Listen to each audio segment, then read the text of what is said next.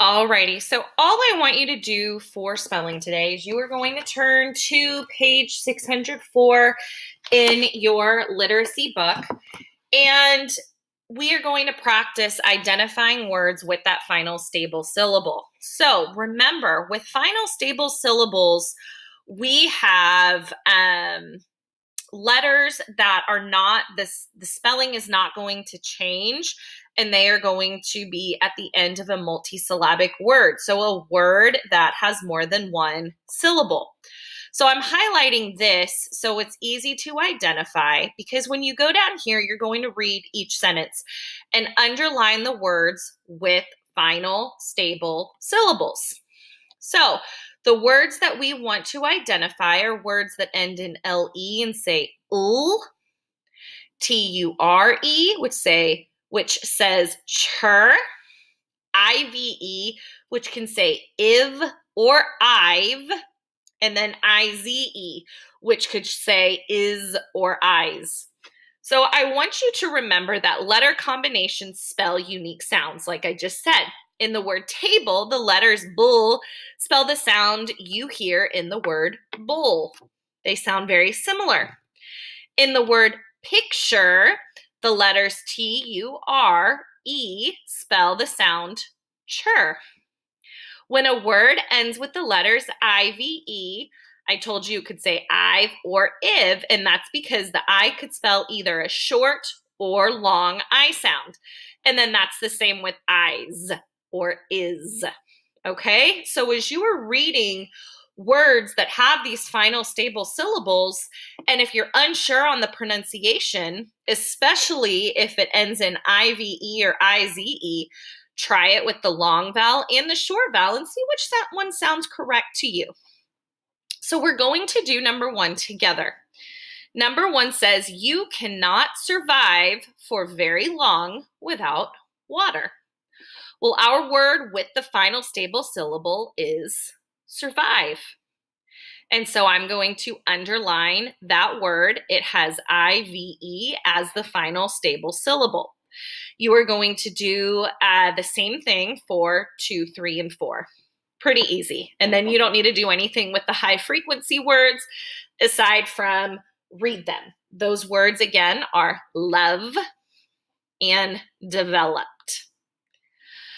Moving on, um, excuse me. Some of you have started submitting your graphic organizer. I'm glad that you're on top of it. However, I want to reiterate that as you are listing your characters, you have to have more than one character. There are at least two characters in a fable, and most of the time in a fable, they are animals. Also, do not forget to list the traits. I posted a picture of this anchor chart we created in the beginning of the year to the Class Dojo storyboard. Remember, character traits are generally what is the character like on the inside? So, we discussed yesterday that the hare, the rabbit, he's athletic, okay? But he also has a big ego. He doesn't think anyone can uh, beat him, which is why he goes and takes a nap. And then the tortoise is very patient. I would even say hardworking. Um, because despite knowing that the hare is faster, that tortoise pushed through and ultimately won because he didn't think that high he didn't think too highly of himself and worked to cross that finish line now, also, don't forget that the setting, I want to know where the story takes place. Um, in fables, generally it does take place outside. And so in this particular story, remember it was in the woods on a racetrack. The moral um, a couple of you turned in something that just told me like a summary of what happened. The moral is the life lesson. Um, so I don't want to know that two friends got in a fight that's not the life lesson. The life lesson is what did they learn after the fight?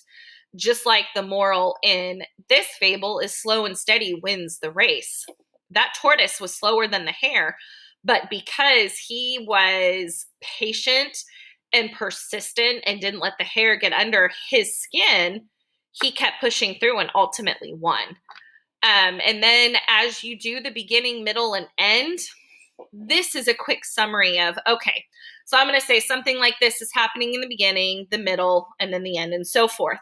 And then your illustration idea, um, I haven't decided yet if I want you to draw a picture. Sometimes pictures help, but if you choose to, or at least write, what would you draw a picture of?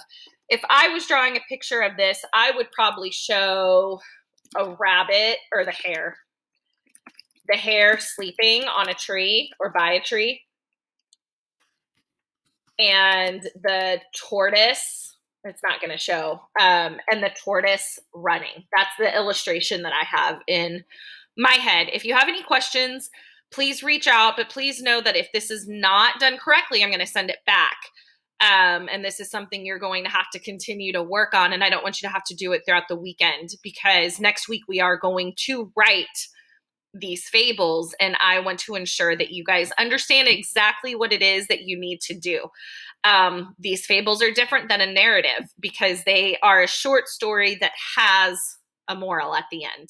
Um, and there are key characteristics that make a fable different than just a regular story. All right, y'all, I will be back with some math and good luck.